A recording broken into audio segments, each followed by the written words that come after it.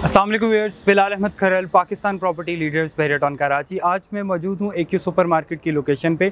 जैसे कि बहरियाटाउन कराची में हमेशा से जो रहने वाले थे या जो इन्वेस्टमेंट करते थे, जो रहने का सोचते थे तो उनके जहन में ये चीज़ें बहुत ज़्यादा गर्दिश करती थी कि यहाँ पर हमें ज़रूरियात ज़िंदगी के लिए या इवन कुछ भी शॉपिंग वगैरह करने के लिए जो है, वो कराची सिटी जाना पड़ता है। एक ट्रैवलिंग कॉस्ट जो है, वो पे करनी पड़ती है।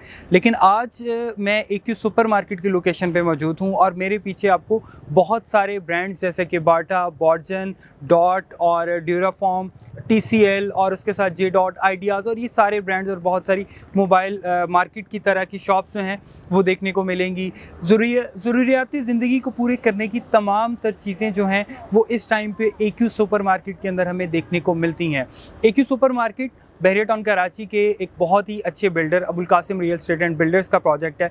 एक पहला प्रोजेक्ट है जिसका पोजेशन हैंडओवर कर दिया गया है।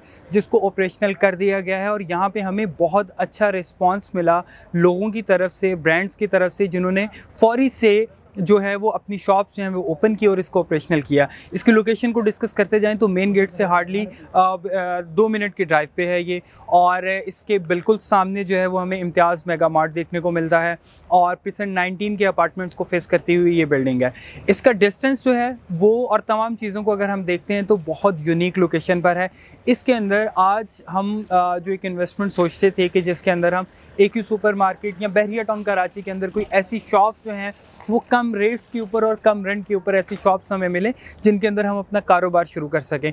तो बैरिया टाउन कराची के अंदर ए क्यू सुपर मार्केट के अंदर आज ही अपनी शॉप लें और अपना कारोबार शुरू करें और एक सिक्योर इन्वेस्टमेंट जो है वो ऑन ग्राउंड शॉप्स की जो है वो इन्वेस्टमेंट आप कर सकते हैं। मज़ीद इन्फॉर्मेशन के लिए स्क्रीन पर दिए गए नंबर्स पर रब्ता करें। अल्लाह हाफ़